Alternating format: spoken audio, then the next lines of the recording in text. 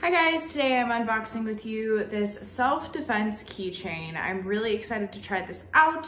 Um, I am about to have a baby, so anything that is cute, stylish, and going to protect me and my baby um, is definitely on my list. So let's unbox and try it together. All right, so opening it up, um, it is blue.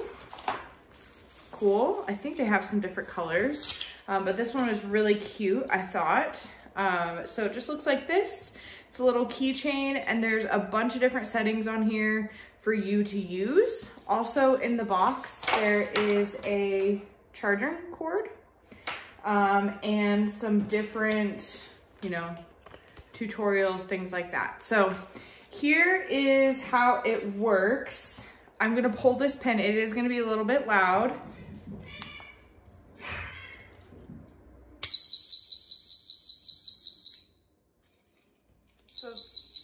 It's pretty loud. um, there's also a light on here. Sorry, I didn't snap it all the way back in. Um, there's also a flashlight on here, so you can use it as a flashlight. Um, it's LED, so it's super bright. It also blinks if you want like to attract somebody. Um, there's also an anti-theft mode on this, so if you loop this around, um, you know, like a bag or something like that, if you had it at the airport, if somebody moves it, it will pull it and it will set off the alarm too.